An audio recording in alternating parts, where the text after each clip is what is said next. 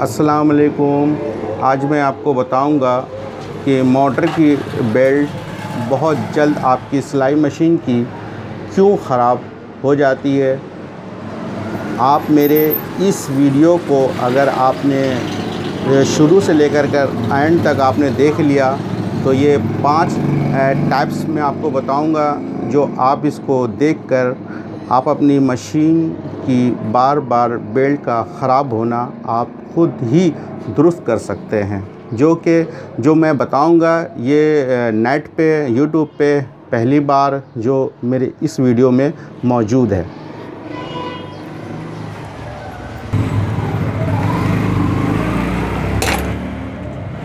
आपने इसको खोला और उसके बाद आपको दिखाता हूँ इसमें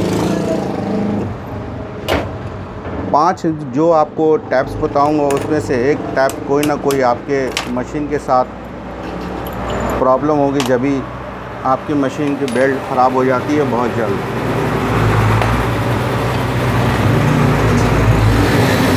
वो जी, ये देखें कि अक्सर लोग जो है ना, ये व्हील को नया देखकर या मशीन नई देख कर के वो ले तो लेते हैं लेकिन इसके अंदर आप ये देखें कि ये व्हील के साथ जो है, ये बिल्कुल इसका इसका जो किनारी है, ये बिल्कुल ही ख़राब है।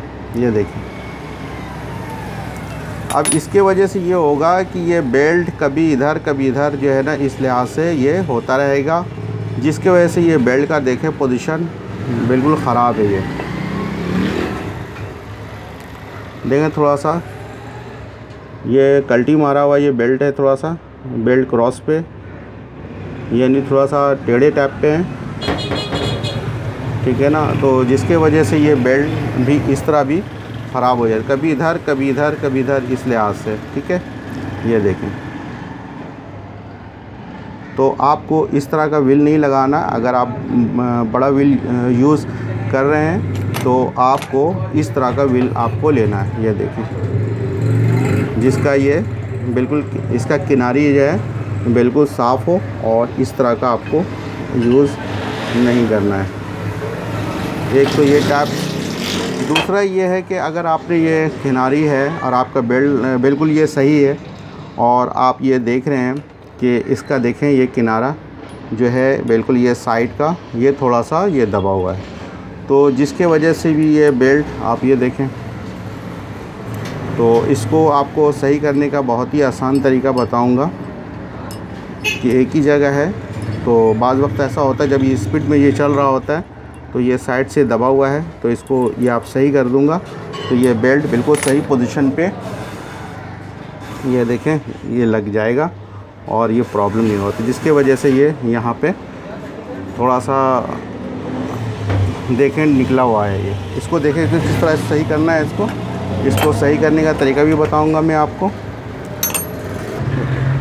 इस तरह कोई गोल आपके पास इस तरह सरिया हो या इस तरह राड हो तो आपने इसकी पोजीशन को आपने देखना है कि इसको, इसकी साइज़ को देखते हुए थोड़ा सा आगे बढ़ा करके आपने इसको इस तरह किया।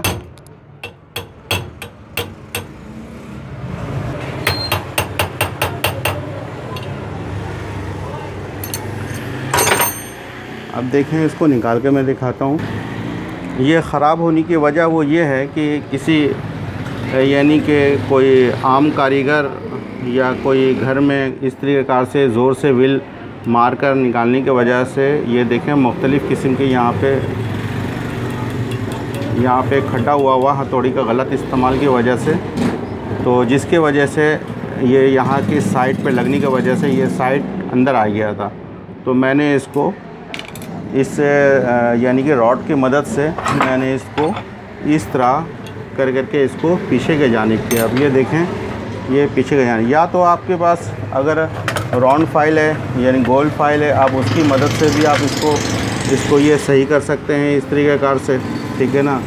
या आप राउंड फ़ाइल है, इस तरीके कार से भी आप इसको इसको सही कर सकते हैं, ठीक है? इसको घस करके, बिल्कुल यहाँ पे कोई खरोच ना हो, ठीक है ना? इस चीज़ को आपको देख लेना है। इसको बेल्ट लगाते हैं इसको इसी तरह, ठीक है? उसके बाद अभी आपको और भी टाइप्स पर आते हैं। इस तरह आपको ये डिप हिस्सा है, ये अंदर के साइड आपको रखना है। और उसके बाद ये स्टॉप मोशन इसको इस तरह लगा के आपको टाइट कर देना है।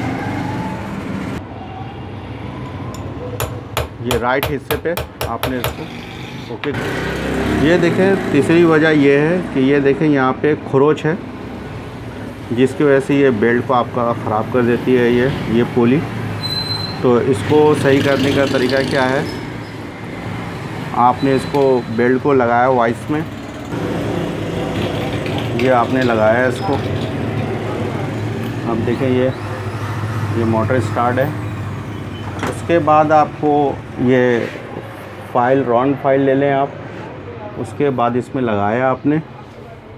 उसके बाद इसको अपने इस तरह इसको आपको ये देखें, इसको फाइलिंग से आपको करना है। इस तरह चलाना बहुत ही आसान हो जाएगा ये आपके लिए।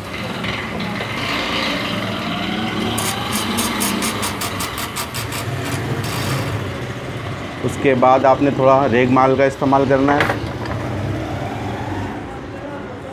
इस तरह आपने इसको किया और इसको इस तरह चला दिया आपने।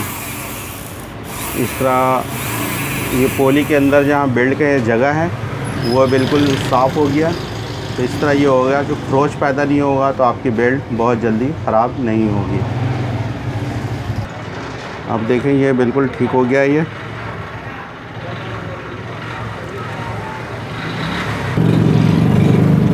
चौथा ये चौथा ये है टाइप्स वो ये कि अक्सर लोग जो है ना, इसके ऊपर का जेनियन और इसका ये जापानी नट हल्की वाला अगर नहीं मिलता है तो वो ये लगा देते हैं। अब होता ये है कि वो आसानी के आसानी के लिए उन्होंने किसी तरह भी तो उन्होंने लगा दिया। और लगाने के बाद अब कंडीशन ये होगी ये देखें, ये बेल्ट जो है, ये जब आप आप चलाएँगे तो ये बेल्ट इसके साथ में इस तरह टकराएगी। तो जिसके वजह से ये बेल्ट का साइड इस तरह का ख़राब होना शुरू हो जाता है, ये देखें। ये बेल्ट के अंदर के, अंदर में जो जितनी भी ये धागा नुमा ये ये लहलून की जो ये ये अंदर के जो धागे लगे हुए होते हैं, ये कटना शुरू हो जाती हैं। तो इस, इसका आपको ख्याल रखना है कि जब भी इसमें लगाएँ तो इस तरह का आपको स्क्रू आपको लगाना है, हल्की वाला। या अगर आपने ये स्क्रू लगाया तो इस तरह आपको कट कर देना है, ये देखें। इसके, इस तरह आपने इसको इसको आपको घस कर फ़ाइल से, यानी इस तरह करके आपने इसको, काफ़ी इसको कटिंग करके मैं आपको समझा रहा हूँ लेक्चर के ज़रिए। एक चीज़ को आपको इंडिकेट कर रहा हूँ, ये देखें। अब इसके बाद ये ना, ये नहीं लगेगी। जिस रुख पे आप बिल्कुल फुल टाइट कर दिया आपने ये मोटर में, उस रुख पर जैसे इन्होंने ये ये, आप देखें, ये ये स्क्रू बिल्कुल फुल टाइट है।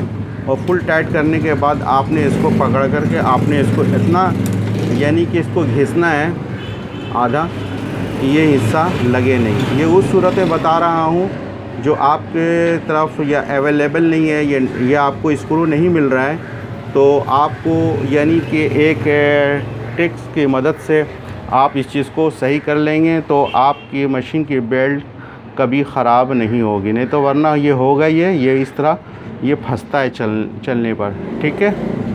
अब, और ये है कि दूसरा, पांचवा आपको बताया मैंने, वो ये है कि पाँचवा के अक्सर लोगों की जो जो मोटर जो मशीन में मुख्तलिफ़ किस्म की जो लगी हुई होती हैं, उसमें होता ये है कि इसमें जो ना, इस पे का नट के साथ जो बोल्ट है, ये बहुत अंदर लंबा सा लगा होता है। तो ये बहुत ज़्यादा बाहर होने की वजह से जब आप बेल्ट इसको लगाते हैं तो ये बेल्ट जो है, इसके साथ, ये देखें, ये टकरे मार रही होती हैं इसके साथ। तो लिहाजा आपने क्या करना है? इस इस साइड को थोड़ा सा आपने इसको कट कर देना है। या आपके पास कोई यानी कोई बेहतरीन प्लास है आपके पास जो आप काट सकते हैं, इस हिस्से को आपने उड़ा देना है। या आपने इसको ये, इस तरह करके आपने इस तरह रखा आपने फ़ाइल इसको वाइस पे। इसको काट करके मैं दिखा रहा हूँ मैं आपको। इसको ग्लेंडर से भी उड़ा सकते हैं इसको, और इसको काट भी सकते हैं। तो लिहाजा आपने इसको रखा, और ये आखिरी ऊपर का हिस्सा, नीचे के हिस्से को काटने की ज़रूरत नहीं है आपको।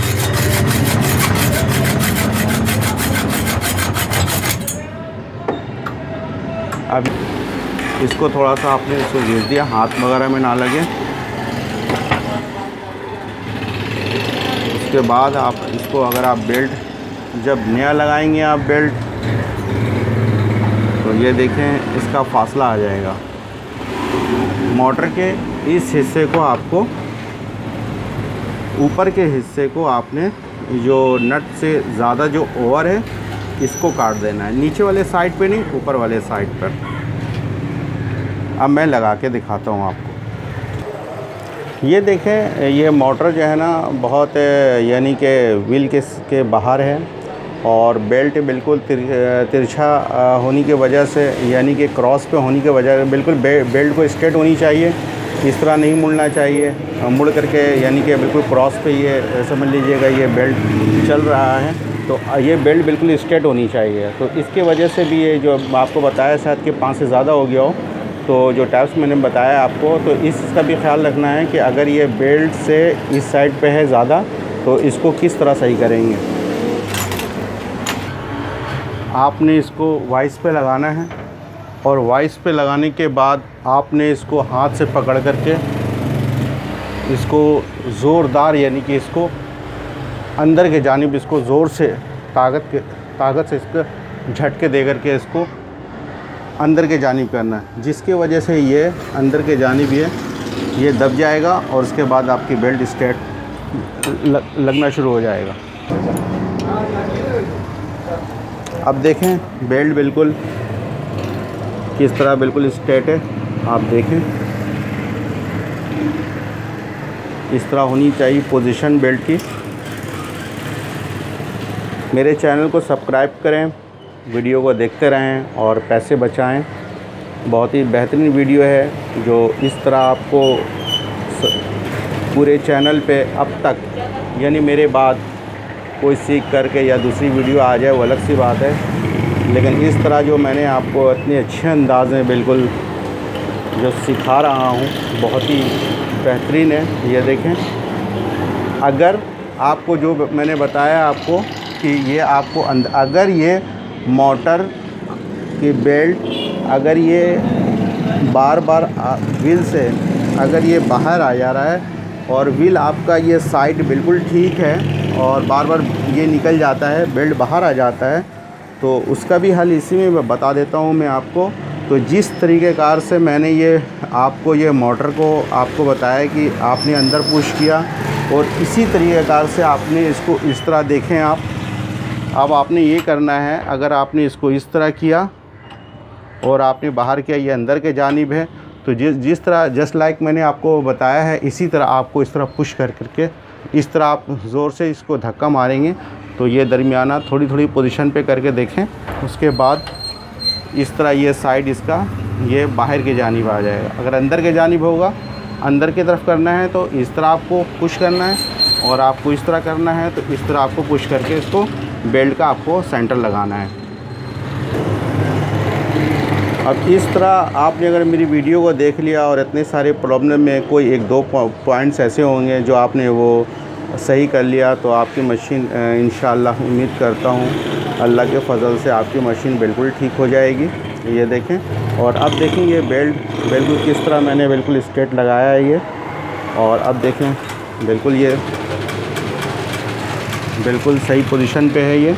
इस तरह आपकी मशीन जितनी भी चलती रहेगी, अगर आपने बेल्ट लो मतलब नॉर्मल क्लास का भी अगर आपने लगाया है तो भी आपकी मशीन की मोटर की बेल्ट काफ़ी दिनों तक, अरसा तक आपकी चलते रहेगी। उम्मीद है आपको मेरी वीडियो पसंद आएगी। नेक्स्ट वीडियो के साथ इजाज़त चाहता हूँ। अपना ख्याल रखिएगा। अपनी दुआओं में अल्लाह हाफिज़।